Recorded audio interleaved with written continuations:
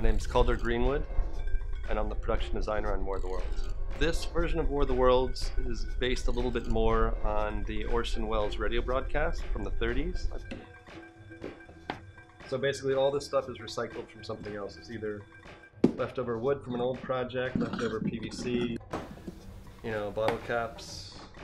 That's kind of how that's how I do it. So there's a certain scale where it'll collapse in on itself, so you have to reinforce it. So I like to use wood for a skeleton and then cardboard over that.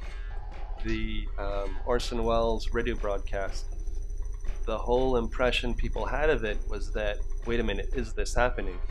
And I think the only way to really sell that, because we're all so used to things being edited and manipulated and special effects these days, that to go back and kind of do it the way he did and do a simulated live broadcast event, even though it's fake, I walked outside one day and they were in the parking lot testing the speakers at the end of my street. So one of the locations is immediately across the street from me.